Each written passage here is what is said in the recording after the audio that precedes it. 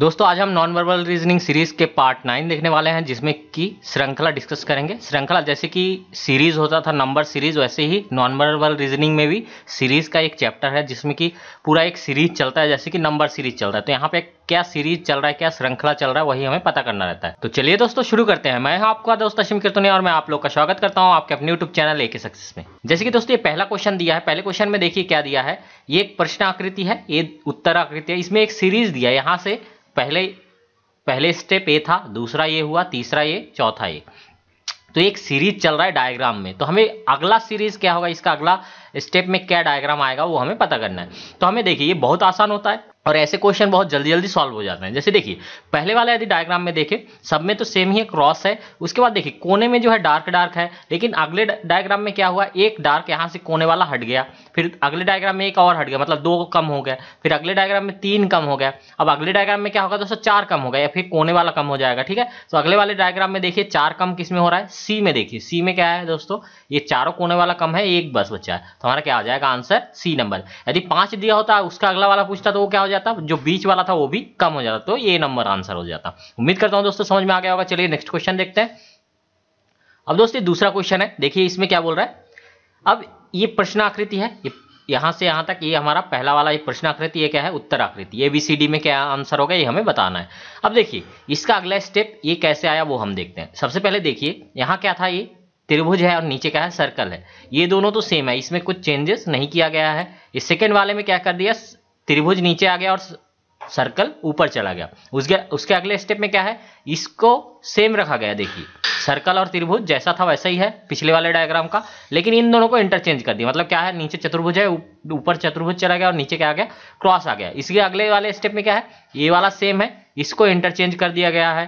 ठीक है? इसको इंटरचेंज किया है। अब इसके अगले वाले स्टेप में क्या होगा दोस्तों? ये दोनों इंटरचेंज होंगे और ये जो है, वो सेम रहेगा। तो मतलब क्या आना चाहिए अगले वाले स्टेप में?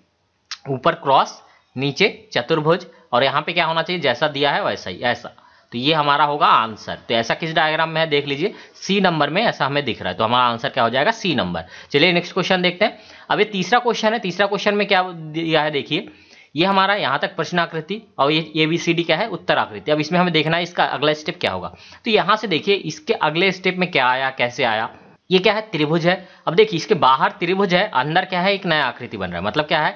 त्रिभुज जो अंदर था वो बाहर आ जाएगा और उसके अंदर क्या बनेगा? एक नया आकृति बन जाएगा। इसके बाद क्या है यहाँ पे? चतुर्भुज अंदर है तो चतुर्भुज क्या आ गया? बाहर आ गया और उसके अंदर एक नया आकृति है। इसी तरह यहाँ पे क्या होगा दोस्तों? ये जो पंचभुज है, वो बाहर आ गया और उसके अंदर एक नया आकृति। इसके अंदर क्या होगा दोस्तों? इसके अगला वाला, ये बाहर आ जाएगा, ये जो हाफ़ सर्कल है, ये बाहर आ जाएगा और उसके अंदर कोई एक नया आकृति बनेगा। ये देखिए, ये सब तो हाफ़ सर्कल वाला कितना एक, दो, तीन दिख रहा है, बी, सी और डी। अब इसमें क्या होगा दोस्तों? इन दोनों में त्रिभुज त्रिभुज है, ये तो नहीं होगा। हमारा क्या हो रहा था? जो अंदर रहता है, वो बाहर आ जाता है और उसके अंदर कोई एक नया आकृति बन रहा है। वो कौन सा है? D number. तो हमारा आंसर क्या हो जाएगा इसका? D number. उम्मीद करता हूँ दोस्तों, समझ में आ गया होगा। चलिए नेक्स्ट क्वेश्चन देखते हैं।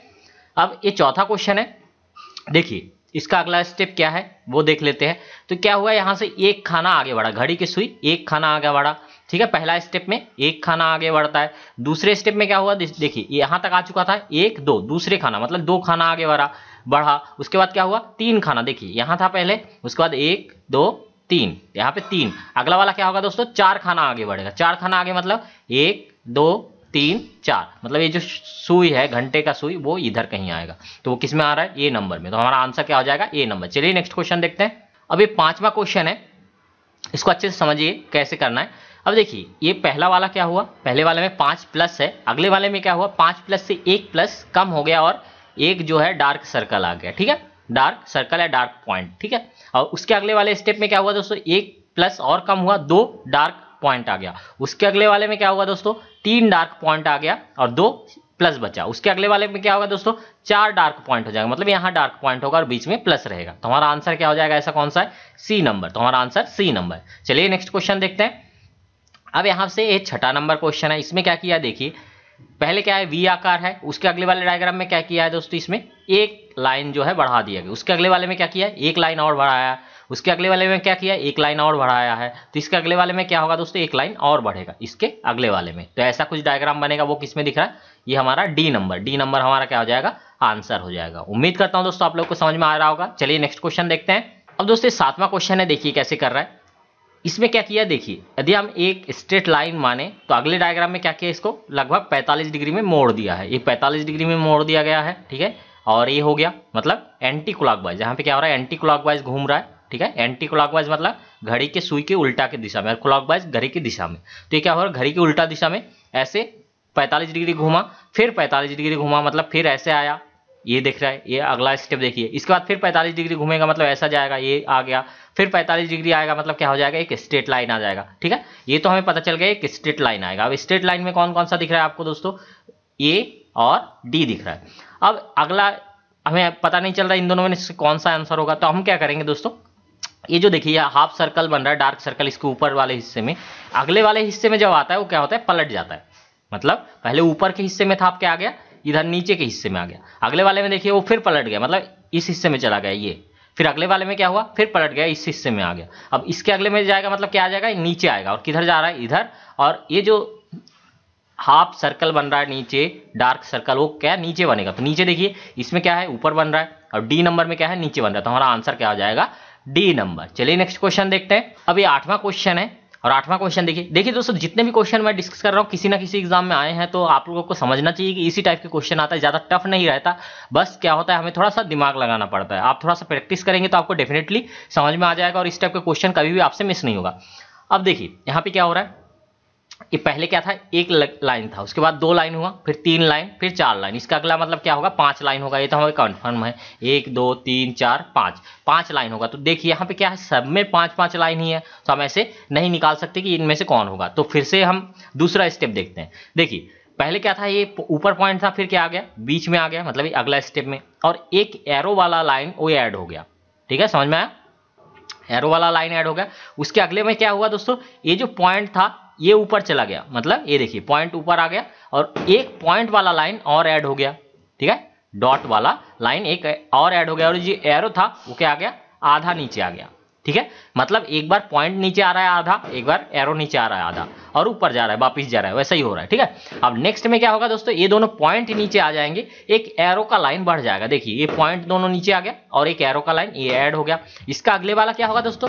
पहले देखिए, पहले यहाँ से क्या बढ़ा? एरो का लाइन फिर पॉइंट का लाइन बढ़ा, फिर एरो का लाइन बढ़ा। अब अगला वाला क्या हो जाएगा दोस्तों? पॉइंट का लाइन बढ़ेगा और पॉइंट क्या हो जाएगा? तीनों पॉइंट ऊपर हो जाएँगे। अब तीनों पॉइंट मतलब अगला स्टेप जब आएगा, ये दो पॉइंट ऊपर गया और जो नेक्स्ट एक और पॉइंट वाला लाइन ऐड होगा, वो भी ऊपर ही रहेगा। मतलब तीन ऊपर किसमें किसमें है? देखिए, एक, दो तीन। तीन में तो दिख रहा है ऐसा है।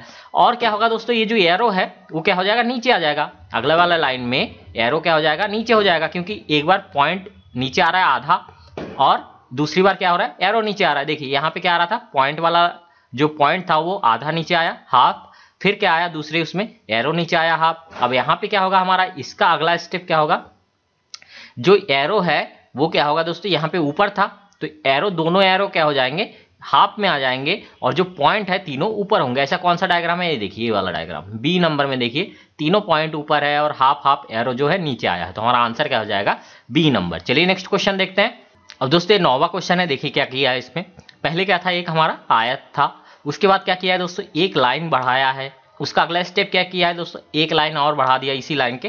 पैरेलल में एक लाइन और बढ़ा दिया गया है। ठीक है? उसके अगले वाले स्टेप में क्या किया है दोस्तों? एक लाइन और इधर बढ़ाया है। इसका अगला स्टेप क्या होगा दोस्तों? इस लाइन को बढ़ाया है। अब उसी लाइन के एक पैरेलल में और एक लाइन हो जाएगी। इस टाइप का हो जाएगा बीच में लाइन तो हमारा आंसर क्या हो जाएगा दोस्तों? ये डी नंबर उम्मीद करता हूँ दोस्तों समझ में आ गया होगा। चलिए नेक्स्ट क्वेश्चन देखते हैं।